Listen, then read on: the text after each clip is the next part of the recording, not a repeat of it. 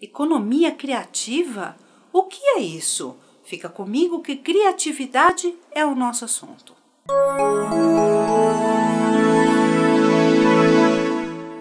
Antes de ir ao assunto de hoje, preciso pedir para você que ainda não se inscreveu no canal que faça isso e habilite as notificações no sininho, assim você não vai perder nenhuma das nossas atualizações.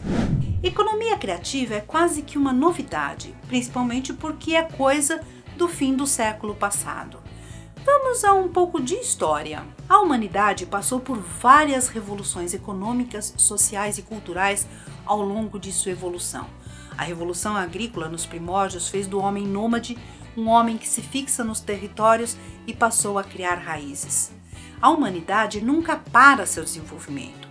E das mais recentes revoluções podemos citar a Revolução Industrial, que começou no século XVIII e seguiu até o século XX. Graças a ela, temos um desenvolvimento econômico onde o progresso acontecia a qualquer custo e a degradação ambiental aconteceu como consequência disso. Em seguida, o mundo desperta para as questões do meio ambiente e a revolução industrial a qualquer custo passa a ser hostilizada.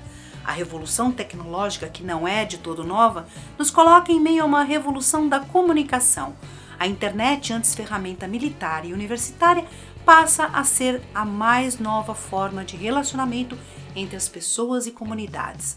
A tecnologia nos coloca em rede e faz com que o desenvolvimento não precise necessariamente de grandes fábricas para fazer o mundo andar e gerar qualidade de vida para a humanidade. É a tecnologia que melhora, inclusive, a produção agrícola e coloca em cada residência equipamentos e aplicativos inovando a forma de viver. Mas o que tudo isso tem a ver com a tal economia criativa? Alguns países que passaram por momentos difíceis em sua economia descobriram que tinham um capital importante e capaz de fazer a diferença. Esse capital, a tal criatividade, alinhada à inovação, é capaz de fazer a diferença e alavancar a economia.